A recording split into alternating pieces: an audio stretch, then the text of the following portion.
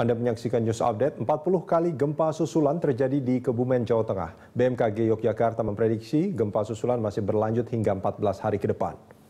Badan Meteorologi, Klimatologi, dan Geofisika Yogyakarta mencatat 40 gempa susulan terjadi hingga selasa siang setelah gempa utama berkekuatan 6,5 skala Richter pada Sabtu pekan lalu pukul 12 lewat 14 menit waktu Indonesia Barat.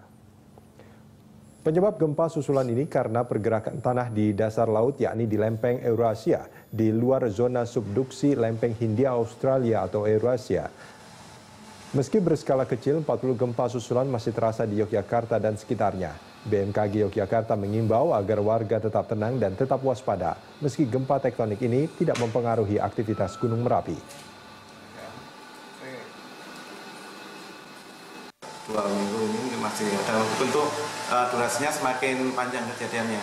Jadi mungkin kalau uh, waktunya dekat dengan uh, kejadian gempa utama, waktu kejadian gempa susulan itu semakin keras, tapi semakin lama.